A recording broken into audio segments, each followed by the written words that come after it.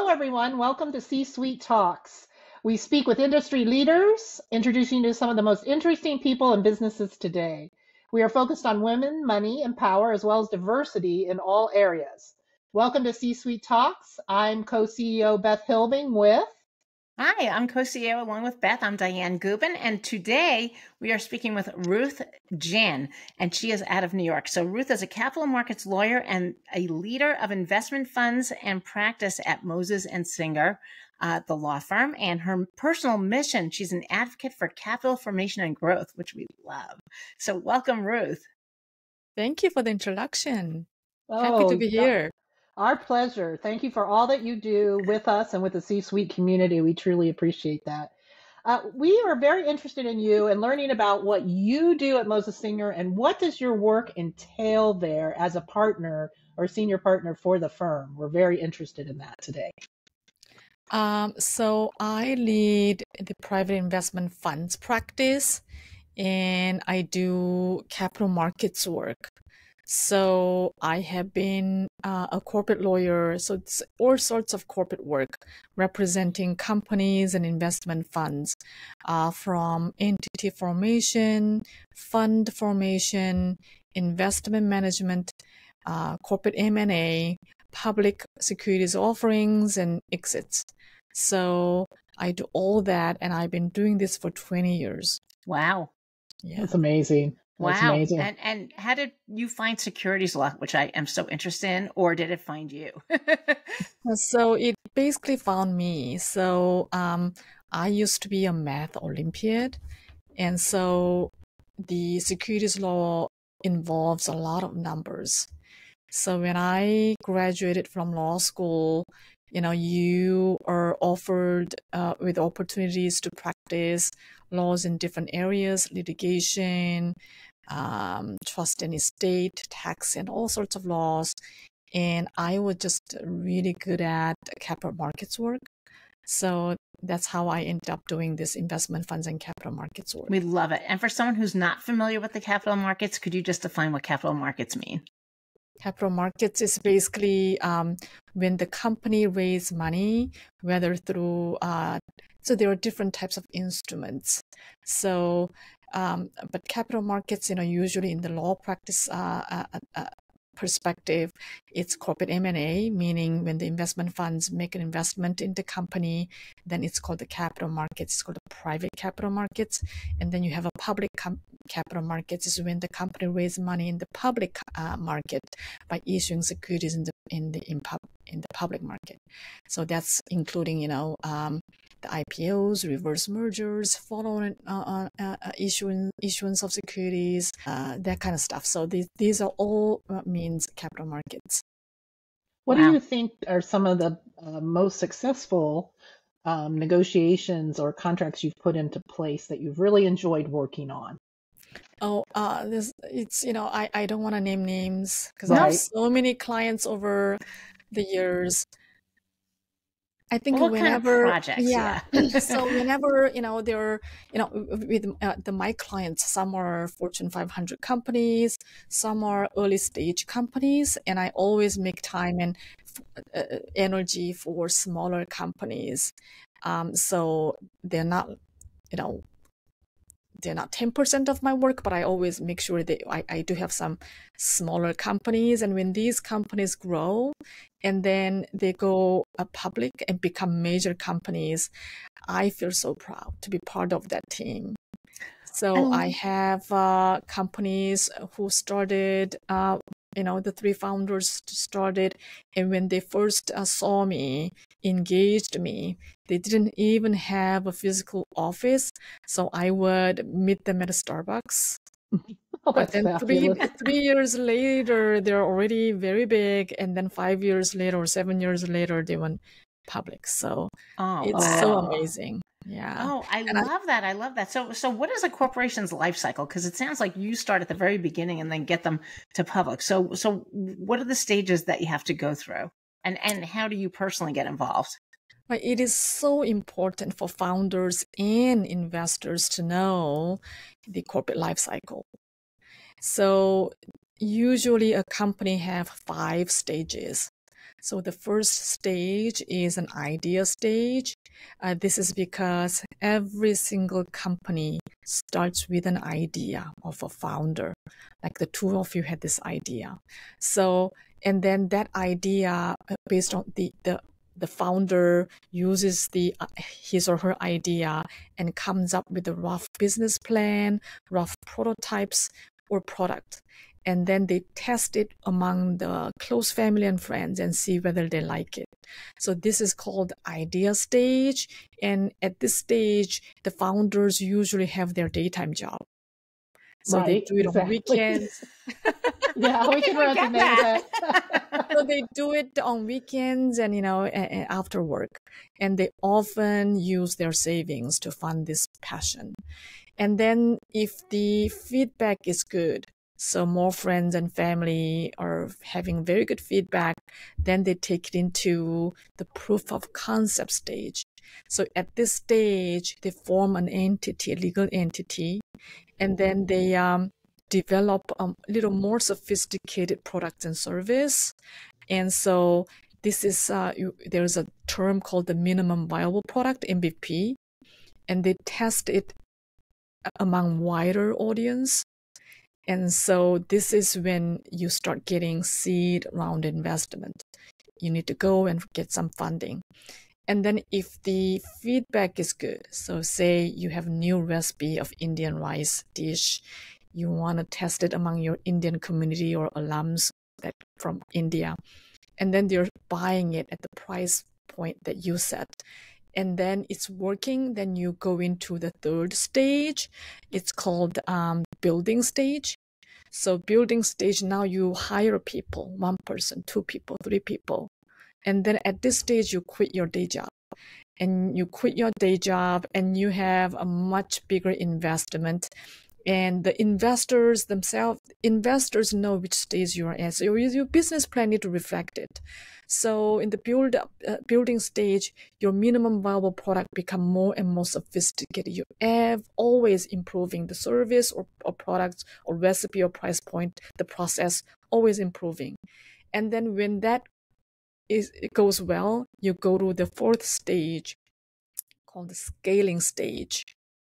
So in the scaling stage, your focus is on the founder or founders or two or three founders the main focus is expansion of market share. So you want to sign up as many people as possible, as many customers as possible, as many, you know, the, you know, if you're Amazon, as many customers as possible online. So it's, it's called the scaling stage. And at this stage, you're not even profitable yet, but, you know, you're highly attractive as you acquire more customers and subscribers and members. And then the last stage is maturity and exit stage. So at this time, you already have enough market share. Your competitors know you and attack you. That means you're already already there, and now you focus on profitability. So, and then at this time, the founders need need to decide whether they want to stay with the company for years and years and years, whether they want to take the company public or um, whether they want to sell the company. It's called a sell event and exit it. So it's called a maturity and exit stage. Very important to know where you are at. So uh, that's, you know, I, I try to educate my client and help them uh, uh, with the legal issues. Oh, which I'm sure wow. they truly appreciate it. Yeah. So do you, have you seen, you know, recently we, we were watching a movie called Show Her the Money, and it was about that only 3% of VC capital goes to 2% goes to women. Um, do you see that changing at all in your world? You mean uh, whether the investors have this uh, focused uh, investment category to expand for women? in women yeah, more? Do yeah. you do you see women getting more venture funding coming down the pike, or is it just going to be upstream uh, forever? I think it's uh, I think it's a challenge for women still. Uh, so unless some funds set aside a bit of a basket for female um, uh, founded companies, I do think it's still a challenge for female founders to get fund- funding. Do you, do you think, think, it's the concept that women generally have, or is it just overall it's just a gender bias?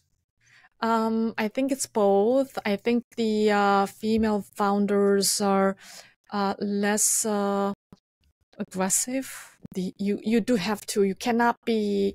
You do have to kind of uh, the projection wise very robust. I I do see the business plan by female founders tend to be more um, humble. Mm. So That's probably true. That's probably true. more Yeah. humble because you know they they, they less um grand, Aggressive or macho. aggressive or- and grand you know Yeah, so the like- investors yeah Like like a little lower to the ground in terms of financial expectations and sales, right? yeah Yeah. yeah but if you look at uh, Uh-huh. data though the female founded companies tend to outperform. Yeah. So the, the critical moment in a corporation is how do you get that funding so you do have the money to hire people right? So the thing is that's the critical time so the getting the funding is very important Well, let's talk about that. What financing tools should companies use at all the stages of the life cycle that you described? Okay, we're Right, at the so- beginning. What do I need? Am I at the bank? Credit card. Yes. With your hands so out. it's so important because you don't want to yeah if you so you don't want to approach an investor and ask for money and when you're not ready to that, get that kind of money. So in the early stage it's your savings and then it's friends and family. So the early stage um so first two stages. First one is the idea stage and then second one is the proof of concept stage. And during this stage the instruments that, that are often used um, are um, convertible note um, and uh, simple agreement for future equity. It's called a SAFE. So convertible note is basically a debt, but it's unlike bank debt where you need to put up a collateral and then they go through like 200 pages. I'm exaggerating for the Okay. approval process. Yeah Yeah. you know it's just forever endless the your angel investors or your rich you know uncle or grandpa. They are willing Everyone to should have that. you know or a college classmate who got rich whoever. So you gonna you want to issue a convertible note. So convertible note is a debt instrument. So you have a principal. So if it's a $10000 you have a principal amount and then you have increased interest accruing on the principal amount and then you have a maturity date. So on the maturity date the holder of the note can either ask you to pay back or you they can convert. There's a conversion uh, events you can set up in that agreement. They can convert the note into equity. So they usually want to convert it if the company does well and have next financing uh, event. So that's convertible note and simple agreement for future equity it's basically the same as convertible note except there's no maturity date so it's indefinite. And then there's no interest accruing. So Mhm. yes it's only it has it, it is it's a you know at the conversion event it converts into equity. So and it it costs uh, not much uh, in terms of legal fees because the agreement is all formatted. There's only two types of a safe agreement. One is pre-money safe agreement and then post-money safe agreement. So if you're an investor you want post-money safe agreement. If you're a founder you want pre-money safe agreement. It's which one is more friendly? So that's early stage. And then from the third and fourth stage it's series a preferred um, it's called a preferred round. So this is when the institutional vc and pe funds invest in the company. And there's bridge loans there's some other you know and then you can go to uh, public market by under regulation a jobs act. Um, so there are other uh, financing instruments you can tap into, especially if you're doing some kind of um, public benefit kind of corporation. So you're po- for profit, but you're a public benefit corporation uh, under the category. So you, it's a hybrid of non-for-profit and for-profit. Mm. Then you can definitely go to a public market and uh, raise like up to 25 million, 50 million. Mm. In in your experience, Ruth, mm-hmm. recently. What are some of the challenges companies are having in getting financing? There goes my video. Ooh, go on. so so the so challenges you know since covid of course many challenges the the interest rate is very high so mm-hmm. bank loans are very difficult to get and the vcpes are not really putting money in uh, without leverage. So, I mean, they do go to uh, private credit, but uh, still for the founders and companies, getting money is tougher and tougher because of the high interest rate. In addition to that, just geopolitical uncertainties, uh, mainly with uh, Russia, China, and you know some other areas. So it's putting a lot of uncertainties into the investor side, and then it trickles down to the corporate side in terms of getting money. Right. So it's not just the money; it's the supply chain too, right? supply chain issue, yeah. So and yeah. then the real estate issue, the changing employee uh, the feelings about how much they want to work. So it, it's it's a it's an environment. It's it's not a uh, traditional environment for many companies and founders. Do you think this is the way it's going to go, or do you think it will shift back to how it used to be? Uh, uh I don't think it's going to shift back. Okay. I think the only thing we're hoping is for the Fed to uh, reduce the rate. So I think once that happens, it's going to get easier. I think geopolitical issues, it looks like it's it's not going to get solve better. itself anytime yeah, soon. Yeah. I think it's going to stay as it is or worse um, the tensions right next few years. Ooh, ooh. So, what do you think then the trends are going to be in the VC and PE investments? You know, what what are the strategies and the methods, the acquisitions of financing? Like, how do you see that world, which just funds so much? Actually, more VCs because private equity only wants you when you're profitable. yeah. So, it, the VC community, um, I so I'm private funds. Uh, you know, I that's my main. You know, if the percentage of the, of the practice, that's the main. And then I do have a private public M and A as well. Um, in spite of all this, and then another challenge is the regulations are getting tougher and tougher under Biden. So um, the SEC and the regulatory agencies are coming down with so many new laws, um, and so the compliance cost is getting higher and higher. So, in spite of these obstacles, the investment fund industry is really active. So okay. is always so busy. They come so the private credit is really getting a lot of attraction. They're doing doing very well. Um, so the the demand is still there. Um, it is an investors market though. So um, the founders really need to it's harder for founders or smaller businesses to get funding.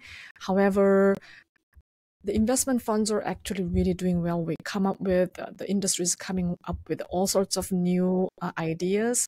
So uh, for example one of the new ways for vcs to do it is to set up a platform company platform company and then they roll up or buy in or invest in smaller targets fitting in the same category or strategy and then they combine them to raise the valuation of those combined portfolio.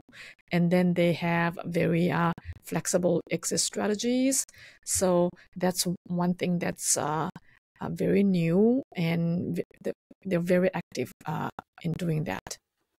Mm, that's very interesting. So, mm-hmm. as you mentor, I'm sure you mentor um, new lawyers coming into the firm and so forth. How do you um, see, or what do you advise them to do um, as they're entering their careers? You know, the first thing I always tell my uh, junior associates lawyers is building character building character building because we're in service prov- uh, we provide services. So when these companies and founders come to us they're you know I, I believe in i believe in god. So i always believe these are sent by god to me to the interns interns or new associates, I'm telling them that when the clients walk in, these are the people that God sends to us to take care of them and help them. So always think of them like with that mindset and then see how I can, what is their goal, how I can help them reach what they're trying to reach. So it's the mindset. And then once you have a right mindset, then you have, you can, when the client asks questions, sometimes they ask same questions like five, ten times, a lot more patient, a lot more patient. And then, yeah. you know, and at the spare time, we always have to, you know, the lawyers are required to study minimum 24 uh, credit hours a year to continue to sharpen our uh, skill set. So when we do that, we really want to learn so that we really provide the clients with the best, the forefront te- uh, legal techniques to serve their company. Oh, that's wow. wonderful. That's great. Yeah. That's wow. so nice. Th- thank you. Can we come back to it to the corporate environment? You know, I, sure. I'd love to find out a little bit more about when you're buying and selling private companies. Mm-hmm. What what are some of the um, terms and considerations someone should think about today if you're buying or selling a company? Well, that's a huge topic, huh? So buying and selling, if the, I think sometimes, uh, I think recent phenomenon is uh, the management, you know, the, the technology companies have been rather active because they're getting investments. And then there's a mismatch between the technology management founders and then the equity investors. So the management or management founders often try to buy the non non tech founders out. So it's mm. called management buyouts or management roll up uh, M&A. So in the AI or some of the technology based fintech uh, companies, these uh, activities are rather rapid. So the management, so if you have three founders, you know, two, one is more like the technology person, whether it's some, somebody like Elon Musk or Sam Altman, and then you have other investors, and then there's a breakup happening. And once the company goes a little bigger, the build up stage or scaling stage, there's breakup happening, and then this tech, but then leverage eh, the tech founders. They want to get rid of the the original uh, investors and they want to have a new investors who's going to align with their dreams and that happens and you know uh, many times and it's a little acrimonious and we i advise clients in the process and so uh, sometimes the board itself have a breakup so, yeah so it is a tumultuous uh, uh, uh, time and and then this ai is bringing new challenge um, many firms have this AI technology and want to make sure they they are ahead of this curve. Right. Yeah. So um, with the document management, time management, so a lot of people are getting laid off. Oh, okay and, and, and, a lot of new op- and a lot of opportunities. But what I'm hearing you saying with the AI companies is you got to get in front, kind of like Zoom got in front, right? In terms yeah. of being the platform. So you're saying whoever's in front is really going to be the the, well, the one COVID that changes really it. Yeah, yeah, for sure, for sure. Yeah, what a great fluke, huh? Yeah, exactly. Yes. or they could say a good timing of the market, right? Yeah.